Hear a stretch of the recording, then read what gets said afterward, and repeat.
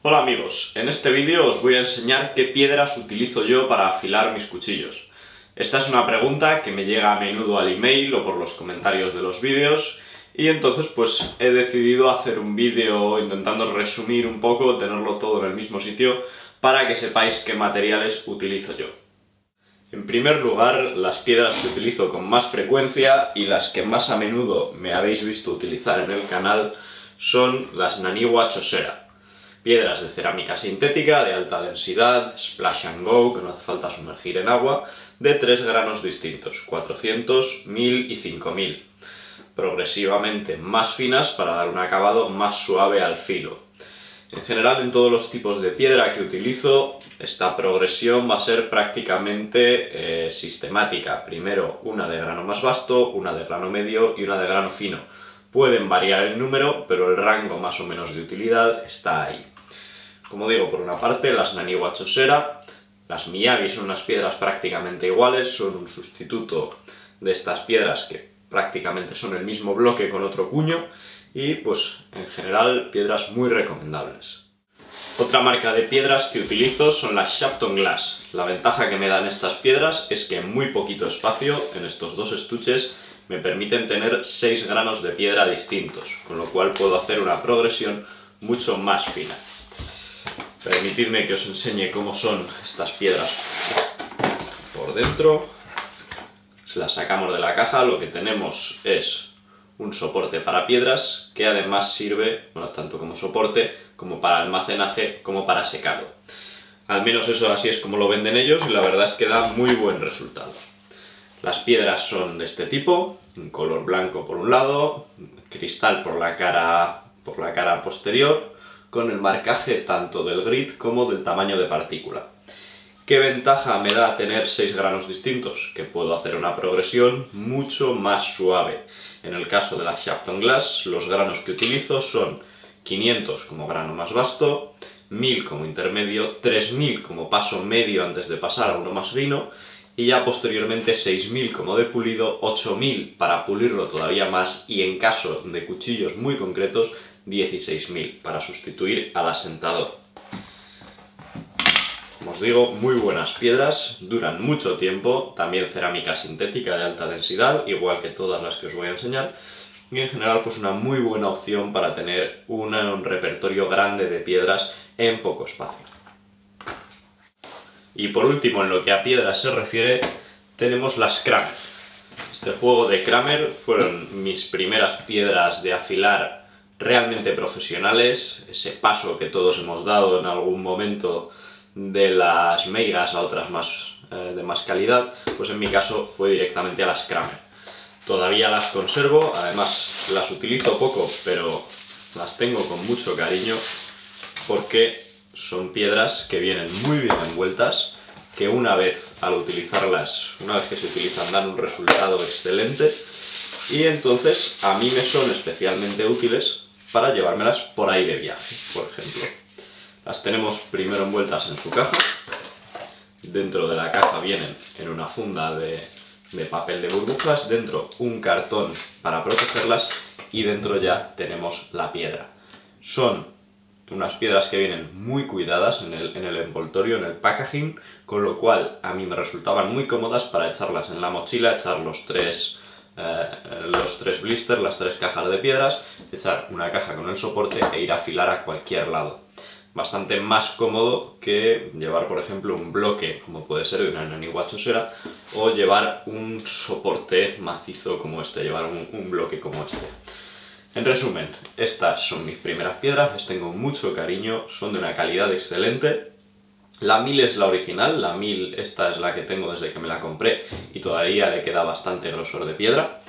La 400, sin embargo, está sustituida. Esta es una 400 nueva porque en 8 meses me la comí entera. El problema de las piedras tan finitas de granos bajos es que las del 400, las del 500 vuelan. De ahí en adelante no tenéis problema ninguno. La 1000, la 3000, la 5000, la 8000 os van a durar toda la vida. Pero en grano pequeño sí que es verdad que a lo mejor compensa más una piedra de otro tipo de, marca que tengan más grosor. Las Josera, por ejemplo, tienen 2 centímetros y medio de grosor que duran bastante más que estas. Pero en definitiva, una muy buena alternativa y además con un tacto muy agradable a la hora de afilar con ellas sobre la piedra. Y hasta ahí en lo que respecta a las piedras. De placas diamantadas tengo una exclusiva para aplanar, que esta es la Diaflat de la empresa DMT. Es una placa de unas dimensiones considerables, bastante cómoda para aplanar piedras sobre ella. El problema es el precio, se va un poquito de precio, es un, un poco cara.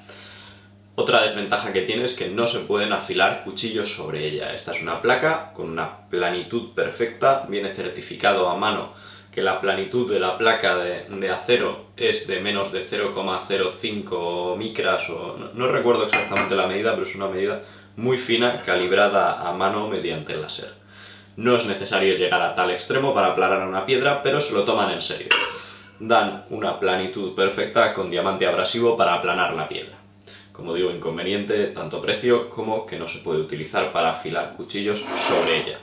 Como alternativa, tenemos dentro de la propia casa de, DMT la placa de 8 pulgadas de la DiaSharp Extra Course.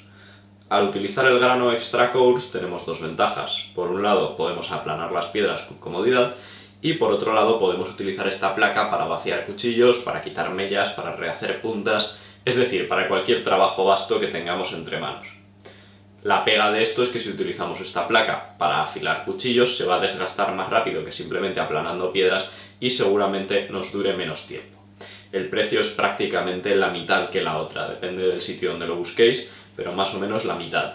Dan muy buen resultado las dos, si solo queréis una placa de, aplanado y no, queréis para, no la queréis para afilar cuchillos y no os importa el precio, desde luego la elección es esta, porque es mucho más cómoda a la hora de trabajar con ella por su mayor superficie. Como digo, buenos resultados los dos, si queréis probar otras marcas como son las japonesas Atoma, pues también tienen muy buenas referencias. Estas dos son las que tengo yo en el taller y la verdad es que van fantásticas. Sobre los soportes hay tantos como vuestra imaginación os permita prácticamente. Los podéis fabricar vosotros o los podéis comprar fabricados en diferentes tipos de materiales. Los más comunes son o bien los puentes de fregadero, que se pueden ajustar a la longitud del fregadero, trabajar con ellos encima, con el grifo echando agua sobre la piedra, o la otra alternativa más común es este tipo de, puentes, de soportes portátiles, que se pueden colocar sobre cualquier superficie plana. Esto al final no es más que unos tacos de goma y unos, y unos topes de goma con unas varillas roscadas con los que se puede regular la longitud del soporte. De este tipo, que es probablemente el más común que, os encontréis, podéis encontrar una gama bastante amplia. La mayor parte de los que veáis son eh, fabricados en China con unos materiales de dudosa calidad este en concreto, que está fabricado bajo las especificaciones de la marca Naniwa, está con el nombre de la marca, también está fabricado en China, pero con, unos con unas calidades y con unos materiales que la verdad es que merecen bastante la pena. No sé qué clase de polímero tendrán los tacos de goma, pero la verdad es que se agarra bastante bien a casi cualquier superficie. En caso de que resbale, tan sencillo como coger un papel de cocina, doblarlo, mojarlo un poco y ponerlo delante de las patas delanteras como me habéis visto hacer en el canal a menudo. Este tipo de encimeras es un material que resbala bastante y aún así yo afilo a menudo sobre ella con este puente.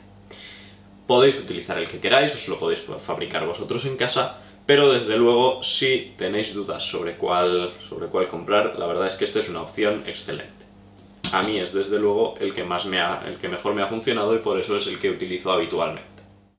Y ya para concluir, varias cositas. Por un lado, todas las piedras que he enseñado aquí, todas las piedras que utilizamos de cerámica sintética de alta densidad, se utilizan con agua. Un biberón de este tipo lo podéis encontrar en cualquier sitio sin problemas. Podéis utilizar una jarrita, tener el grifo cerca, un vaso, lo que queráis.